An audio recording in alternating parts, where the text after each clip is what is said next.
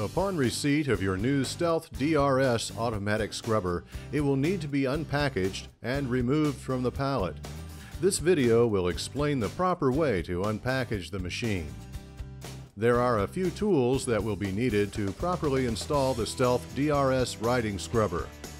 A sharp cutting tool such as scissors or a razor knife, a 10mm wrench or socket, and a Phillips head screwdriver or electric drill. Begin by cutting the bands that hold the box to the pallet. Then remove the outer box from the pallet. Now remove the battery charger that is sitting on the seat of the machine.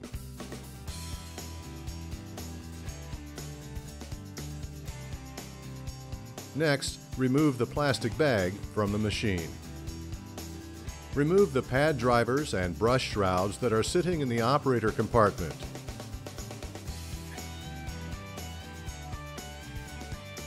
Next, cut the two bands that secure the machine to the pallet. Remove the wood ramp and squeegee assembly from the pallet. The wheel blocks will need to be removed in order to drive the machine off the pallet. A Phillips head screwdriver or electric drill will be required for this operation. Open the battery compartment and connect the batteries.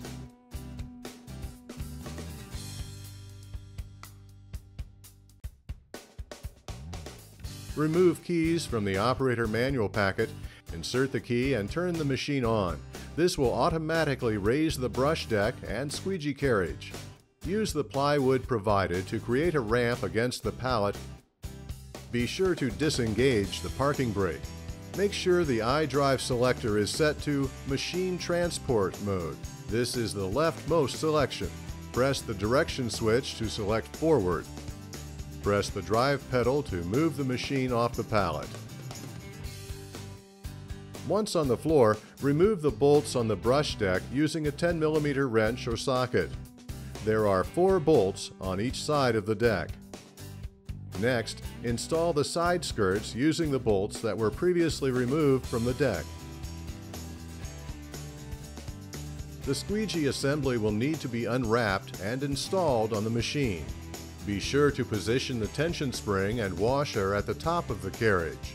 Position the lugs into the carriage and tighten the thumb wheel. Then attach the vacuum hose to the squeegee shoe. Now, remove the pad drivers from the box and detach the pad center lock. Position the preferred type of pad on the pad driver and screw the center lock to lock it into place.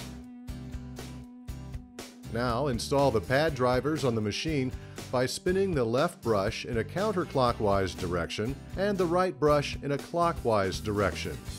Be sure to read the owner's manual for important safety, maintenance, and operation instructions. Visit www.betco.com for more information about the Stealth DRS automatic scrubber.